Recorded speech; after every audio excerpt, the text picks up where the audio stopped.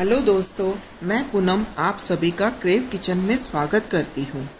Friends अगर आपको मेरी रेसिपीज़ पसंद आए तो मेरे चैनल को सब्सक्राइब करना मत भूलना। आज हम वेज मोमोज बना रहे हैं तो आइए देखते हैं इसे कैसे बनाते हैं। मोमोज बनाने के लिए जो इंग्रेडिएंट्स हैं, ये मैंने एक कप मैदा लिया है, ये कैबेज लिया है मैंने, इसे बहुत बारीक सा चॉप कर लिया है ये गाजर है, इसे भी चॉप कर लिया है। शिमला मिर्च को बारीक चॉप कर लिया, एक बड़ा प्याज मैंने चॉप करके रखा है। ये थोड़ा सा मैंने पनीर को ऐसे ग्रेट कर लिया है। साथ ही में मैंने ये एक चौथाई चम्मच काली मिर्च के लिए है। ये है बारीक कटा हुआ लहसुन, बारीक कटी हुई हरी मिर्च, ये मैंने एक एक चम्मच लिए हैं। साथ ही में मैंने मसाला मैजिक का एक पैकेट लिया है। इसे डालने से हमारा जो मोमोज का अंदर का मसाला है वो बहुत ही टेस्टी बन जाता है। उसी के साथ नमक हम अपने टेस्ट के हिसाब से डालेंगे और थोड़ा सा ऑयल हमें सब्जियों के लिए फ्राई करने के लिए लगे सबसे पहले हम अपनी फिलिंग तैयार कर लेते हैं। उसके लिए मैंने कढ़ाई को गैस पे चढ़ा दिया है। उसमें मैं एक चम्मच तेल डालूँगी। एक बड़ा चम्मच। तेल डालने के बाद थोड़ा सा गर्म हो जाए तेल, फिर हम उसमें लहसुन डालेंगे। लहसुन को थोड़ा सा हम हिला लेंगे अच्छे से। थोड़ा सा इसका कच्चापन निकल जाए। हमें इसे ज़्यादा नहीं करना है। इसी के साथ हम डालेंगे हरी मिर्च। और फिर एक एक करके हम अपनी सारी सब्ज़ियाँ इसमें डालेंगे। ये जा रहा है कैबेज कैबेज के साथ ही हम अपनी गाजर डाल देते हैं।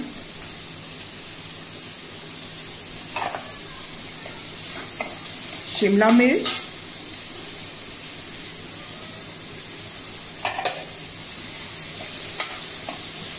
प्याज। प्याज भी फ्रेंड्स मैंने पहले नहीं डाला है क्योंकि हमें इसे ज़्यादा लाल नहीं करना है। ये थोड़े से अच्छे से मिक्स हो जाए। फिर इसके अंदर हम जो हमारा पनीर है वो डालेंगे। इसमें मैं थोड़ा सा नमक डाल देती हूँ।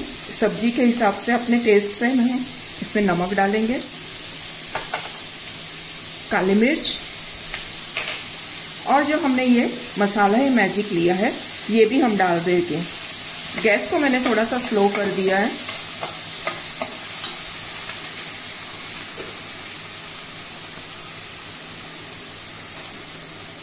ये पूरा पैकेट मैं डाल रही हूँ इसके अंदर।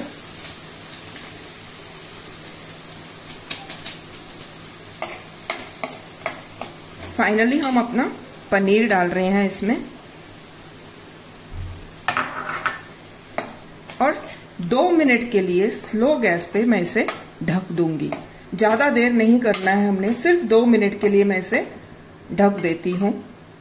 फ्रेंड्स, मैंने इसे ऐसे ढक दिया है। दो मिनट बाद मैं गैस बंद कर दूँ आइए हम इसका मोमोज का बैटर अब बना लेते हैं। मैंने मैदा एक बाउल में ले लिया है। थोड़ा सा इसमें मैं नमक डालूँगी। और फिर इसमें पानी थोड़ा थोड़ा पानी डाल के इसे हम गूंद लेंगे। हमने इसका एक अच्छा सा बैटर बना लेना है। ना बहुत सख्त करना है इसे और ना ही बहुत नरम। मीडियम सा हमने इसे गूंद लेना है। और गूंद कर इसे हमने 10 मिनट के लिए रेस्ट के लिए रख देना है, ताकि फिर हमारे मोमोज अच्छे बने। फ्रेंड्स, मैंने इसे पाँच मिनट तक गूंद लिया है और ये अब एक अच्छा सा इसका डो बन गया है। इसे मैं अब थोड़ा सा ऑयल लगा के 10 मिनट के लिए इसे ढक के रख दूँगी। इसके ऊपर थोड़ा सा ऑयल अप्लाई कर देती हूँ और इसे अब मैं ढक के रख देती हूँ। मोमो के बैटर को रखे हुए 10 मिनट हो चुके हैं। मैंने उसके ऐसे इस साइज़ के बॉल बना लिए हैं। इसे अब हम थोड़ा सा सूखा मैदा लगा के बेल लेंगे। इसे हमने पतला बेलना है। इसे हम बेल लेते हैं।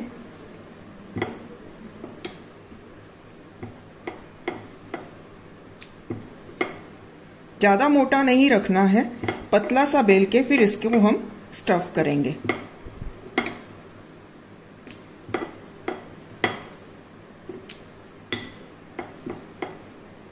आप देख सकते हैं ये ढाई तीन इंच का ऐसे रोटी जैसे बन गया है। अब इसी को ऐसे रखते हुए ही मैं इसके अंदर अब फिलिंग डालती हूँ। एक चम्मच के करीब हम इसमें फिलिंग डालेंगे। और फिर इसे ऐसे थोड़ा सा ट्विस्ट कर करके हमने इसे फोल्ड करना है। इस तरह से।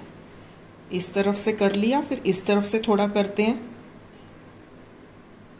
पूरी तरह से हमने इसे ट्विस्ट कर करके फोल्ड करते हुए इसे बंद करना है। और फाइनली हम इसे ऊपर से पैक कर देंगे और ऐसे गोल घुमा के इसे थोड़ा सा ऐसे दबा देंगे। दूसरा वाला बनाते हैं।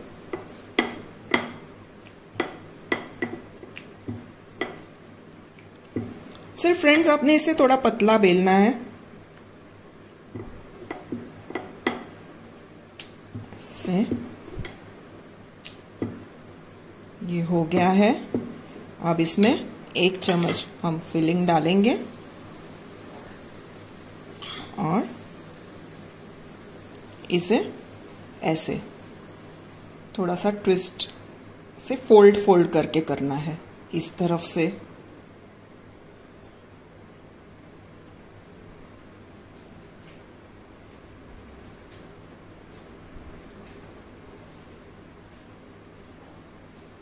और फिर ऊपर से इसे दबा के थोड़ा सा ऐसे घुमा लेंगे और इसे ऐसे बंद कर लेंगे। तो इस तरह से हमने सारे हमें अपने जो हैं बैटर तैयार जो मोमोज बनाने हैं हमने, पूरे तैयार करके फिर हम इन्हें स्टीम करेंगे। फ्रेंड्स, मैं मोमोज को इडली पॉट में स्टीम करने वाली हूँ। तो मैंने इडली पॉट में ऐसे पानी डाला है। पानी के साथ मैंने एक नींबू उसमें डाल दिया है और मैं अपना जो इडली बनाने का बर्तन है, इसे थोड़ा सा ग्रीस कर लेती हूँ। और फिर इसी के ऊपर मैं जो मोमोज हमने बनाए थे, वो एक एक ऐसे रख के इन्हें 10 मिनट के लिए हम स्टीम कर लेंगे। इसे मैं अब पॉट में रखती हूँ। और इसे ऊपर से ढक्कन दे देंगे। 10 मिनट के लिए इन्हें हमने स्टीम करना है। 10 मिनट बाद हम देखते हैं कि मोमोज कैसे बने। 10 मिनट हो चुके हैं, गैस को मैंने ऑफ़ कर दिया है। अब इसे हम खोल के देखते हैं कि मोमोज कैसे बने हैं। आप देख सकते हो, ये ऐसे बन के तैयार हो गए हैं। इसे गरम गरम खाने में ही मज़ा आता है। फ्रेंड्स, हमारे मोमोज तैयार हैं। मैंने इसे प्लेट में डाल दिया है और आप भी मेरी इस रेसिपी को ट्राई करना। और मुझे ज़रूर बताना कि आपको मेरी रेसिपी कैसे लगी। और फ्रेंड्स मेरे चैनल को सब्सक्राइब करना मत भूलना।